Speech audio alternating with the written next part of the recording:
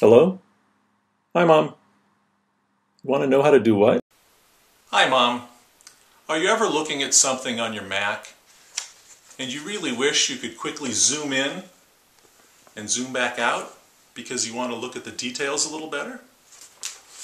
Or maybe you're looking at one of those websites that gives you all this tiny little font that's hard to read. Wouldn't it be great if you could quickly increase the size of everything on that page? Well, let me show you how to do that on your Mac.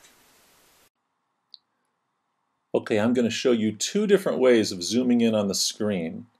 The first one is actually called screen magnification. If you find it in System Preferences, that's what it would be called.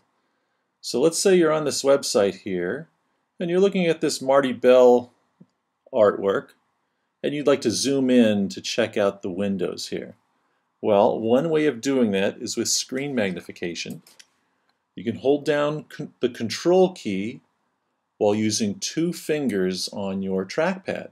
I'm just going to do two fingers up now while holding down control. Look at this. Zoom right in. Is that crazy? Zoom out. That looks pretty good there. You can even move around a little bit while you're in that zoomed in mode. And then when you want to get back to normal, just hold down control again and do a couple two finger swipes down.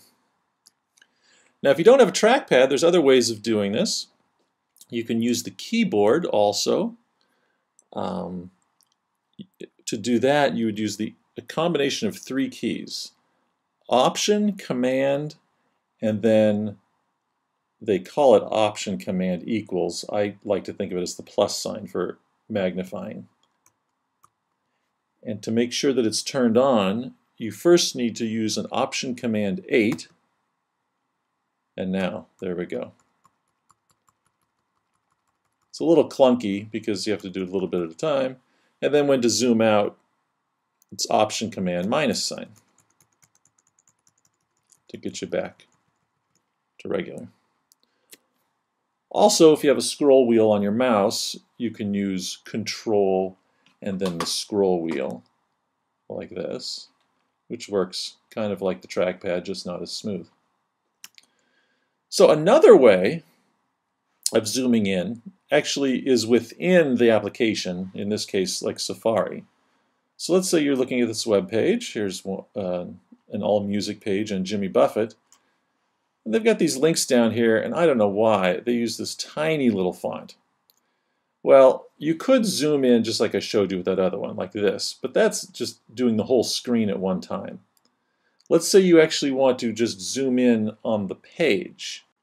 Well, up here on the View menu, you'll find Zoom In and Zoom Out. And not surprisingly, Zoom In uses the plus sign. It's a Command plus and a Command minus for Zoom Out. So let me zoom in. And then I'll use the Command plus to do it again. So there you go. Now this is much more readable, and you'll notice that the zooming actually affected graphics and text. So everything zoomed in, but only within this Safari window. The rest of the screen didn't zoom at all. And now I can zoom right back out. And another trick here, if you zoom in and you've lost track what supposedly normal zoom is, a command zero will take you back to the normal setting. So you should play around with that a little bit, get the hang of it, use each trick where you think appropriate, and have fun zooming your screen.